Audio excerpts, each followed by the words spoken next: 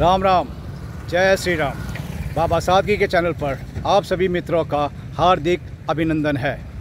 अभी मैं आपको लेके आया हूँ बिसरख गाँव। क्यों लेके आया हूँ, यही आपको बताऊँगा। ये है बिसरख गाँव। आप नज़ारा देखिए और मेरी बात सुनते रहिएगा। पूर्व जन्म में भगवान विष्णु का द्वारपाल, जिसका नाम था जय। और उसे श्राप मिला था कि तीन बार वो राक्षस योनि में जन्म लेगा। एक लाख पुत्र और सवा लाख नाती, जिसके होंगे आप उसकी आयु का अंदाज़ा लगाइए। यह गाँव उस महापंडित महाविदाता चारों वेदों का ज्ञाता रसायन शास्त्र और ज्योतिषी का महारथी यह है उसकी मातृभूमि। तीन पत्नियों का स्वामी, मंदोदरी।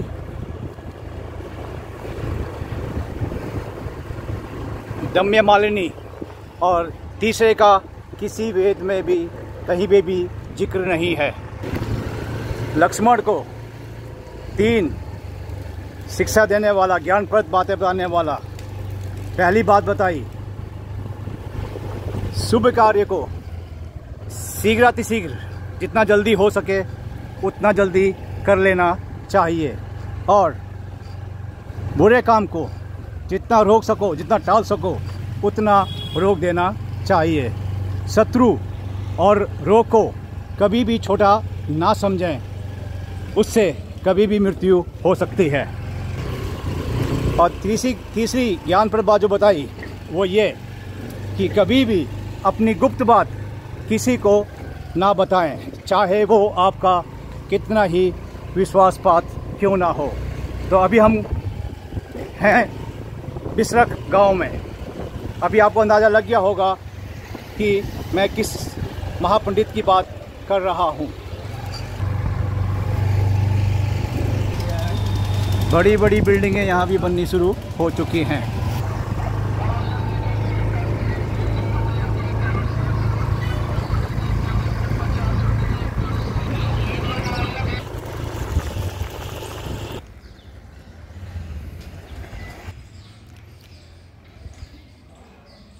और यह वह मंदिर है जहाँ मैं आपको कुछ दिखाना चाहता हूँ।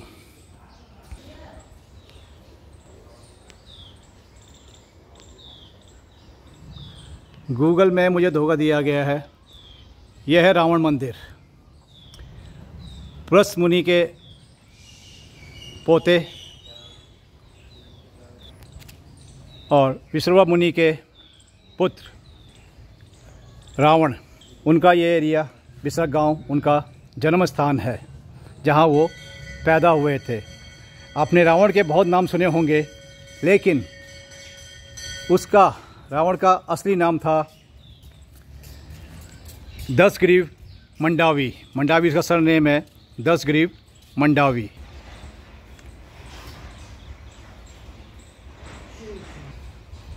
दोस्तों, ये तो वही बात हो गई।